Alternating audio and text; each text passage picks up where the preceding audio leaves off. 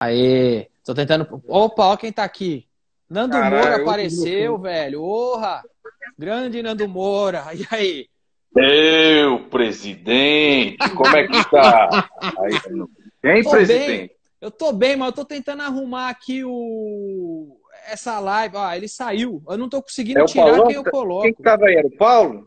Não, era um maluco aí aleatório que pediu pra entrar, que era lá de São Gonçalo, gente boa. Mas legal, cara. eu vi ele falando, eu vi ele falando, o cara respeita muito você, eu achei muito legal, cara. Ah, e... agora eu entendi. Não, ele queria ver meu charuto, velho, ele já tava com umas conversas estranhas, aí eu achei melhor tirar ele. Você mostrou ou não? Não, não mostrei. Ele tava, ele tava dando umas indiretas. Cadê o charuto aí? Eu quero pôr o charuto na boca. Meu negócio é falei, não vou, não vou, não, eu tirei ele. Mas o cara é gente boa. Ô, Nando Moura, você lembra que quando os caras lá do, do, da, da Câmara, que estavam votando a impunidade parlamentar para eles, quando eu, eu xinguei os caras lá, eles me pediram a minha prisão. Aí começou aquele movimento espontâneo lá de falar para nós entrar presidente. Eu, presidente, e você vice. E aí? Saiu pesquisa hoje. Vai entrar nessa ou não? Olha, Danilo, é para perder ou é para ganhar? Pra perder, né, cara? Pra perder. Eu não, não quero, ganhar, não quero ganhar uma merda dessa aí, não. Somos dois, ganhar, somos dois. Não quero ganhar isso aí, não. Mas pra perder, eu entro. O problema é ganhar, hein, cara? O problema é ganhar. Eu acho que o povo tá, o povo tá ficando doido aí, cara. O povo quer você na presidência da República de qualquer jeito. Não, mas aí quer você também, né? Que a chapa aí é, é Nando Moura vice. E aí é o seguinte, nós vamos pegar um busão sair em campanha, o Nando Moura tocando guitarra, soltando fogo lá em cima. Vamos ver o que vai dar. Tô até preparando a guitarra aqui, Danilão. Mas e aí, como é que você faz, cara? Hoje é um dia triste. Eu sei que você é comediante, mas hoje é um dia triste. Morreu quase. Morreu mais de 4.195 pessoas, bicho. Né? Só então, hoje, só hoje. É, que eu tenho acumulado do final de semana, mas o número que foi registrado hoje foi de 4.195. Agora, sem brincadeira, cara, sem perguntar de, de, brincadeira, vamos imaginar que tu fosse o presidente da República hoje, certo? Hoje, tu é o presidente da República hoje, sem, sem zoeira, sem zoeira. O que, que tu faria, cara? 4.200 pessoas. Não dá para você mudar o passado, mas hoje você é o presidente da República. Claro que você não seria um animal imundo como o Bolsonaro, mas o que, que tu faria hoje? Cara, eu acho que é, é, hoje, com esse número, eu acho que é, é, você deveria. O problema é, se você fosse presidente da República, chegaria esse número hoje? Será que, é. às vezes, é, incentivando a usar máscara lá atrás, incentivando. tentando apaziguar as coisas, entrar em acordo com os governadores, eu não sei, eu não sei. é uma coisa que deve ser muito difícil exercer essa função de presidente, porque deve ter tanto entrave, deve ter tanta é, é, gente jogando contra, mas às vezes, se você for só um ser humano ali quando precisa, já é mais do que suficiente, né, cara? Se você só se colocar no lugar da pessoa e pensar, poxa, é, eu não quero que minha mãe pegue isso, eu não quero que eu pegue isso, que meus amigos peguem isso, que os brasileiros peguem isso.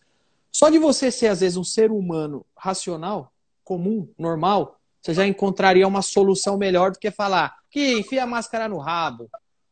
Vacina não precisa.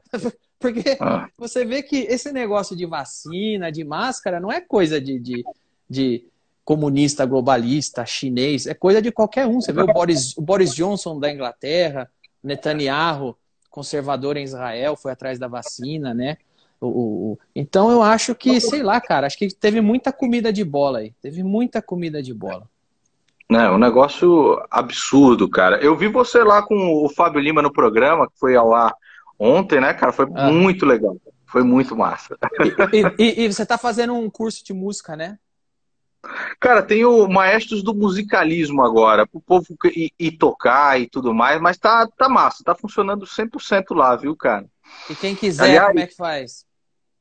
Não, porra, que eu vou fazer. Não vou fazer jabá aqui, é que eu tô pra mas conversar é, com você. Velho? Mas, mas fala do curso aí, porra. Fazer tá jabá, com... caralho, você... vou fazer Ó, jabá. É o seguinte, o Nando Moura está fazendo um curso de música, é um reformatório musical. Eu não sei os termos aí, que eu sou ignorante. É conservatório, seu animal. Conservatório, então, você tá. Porra. Por isso que eu falei pra você fazer a divulgação, porque eu já tô errando as palavras, porra. Entendeu? Você quer ser músico? Vai lá no, no Conservatório Musical do Nando Moura.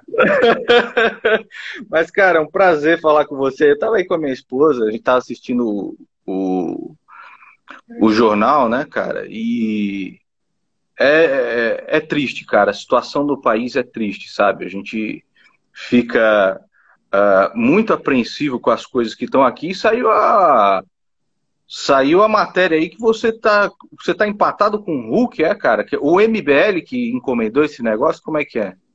É, então, quando saiu, quando o pessoal começou a falar na internet aí para votar Danilo Gentili, Nando Moura vice, Danilo presidente, essas histórias, aí os caras continuaram e não pararam. Aí o MBL, pelo que eu vi aí, encomendou a pesquisa, saiu, e o que saiu é que eu tô empatado com o Hulk, o Dória, o Ciro e o Mandetta. tipo assim, velho. Eu falei, caramba, eu tô empatado com o Hulk e eu nem tô na Globo, velho. Como é que eu tenho o mesmo número de. Eu nem fico dando geladeira pra pobre. Como é que os caras estão falando que vão votar em mim, cara? Mano, eu vou lá e. Qual que é o meu trabalho na TV? Xingar o Diguinho. Tirar...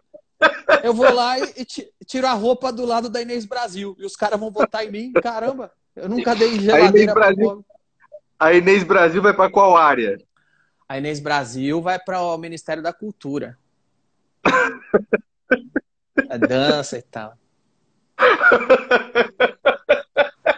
pode demais. dar certo. Pode dar... Não, é pode... é melhor do que um. É melhor do que um arrombado que vai fazer um discurso do Goebbels, né? é, é, melhor. Eu acho é melhor. melhor. É, porra, cara. E olha, e olha, que a Inês já morou na Alemanha. A Inês Brasil se orgulha de ser a maior prostituta que a Alemanha já conheceu. Olha, então já vem com bagagem. É. Aqui o Diogo Portugal tá falando. Eu vou chamar o Diogo aqui para trocar ideia com ele. Chama, chama aí, vou chamar aqui. Depois te chama aí, Nando. Fica à vontade, cara. Valeu. Cadê o Diogo? O Diogo, o Diogo